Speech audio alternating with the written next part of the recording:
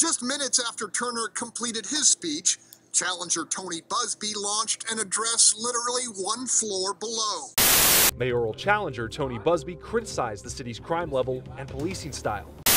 With Mayor Sylvester Turner in one gigantic opulent ballroom and mayoral candidate Tony Buzbee in a cozier one. Every dollar I save is a dollar that allows me to put another police person on the street, to hire another firefighter, to help these charities that are working hard to deal with homelessness, or the stray animal population, or recidivism, or potholes. Every dollar We've got to keep that in mind because sometimes we say, well, come on, Tony. Come on, man. Go- governments waste money all over the country. And yes, there's some element of fraud. I say no. I say no. It's time to make people accountable. This was the pothole mayor. I say we judge him all on potholes. If that's the case, I win.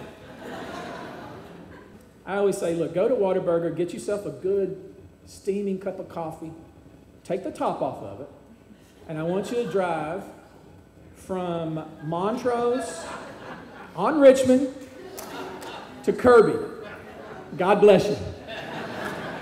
And if you're really feel, feeling spiritual that day, I want you to try to take a drink of it. We know when people are, are shooting butterflies at us and telling me the state of the city is so great.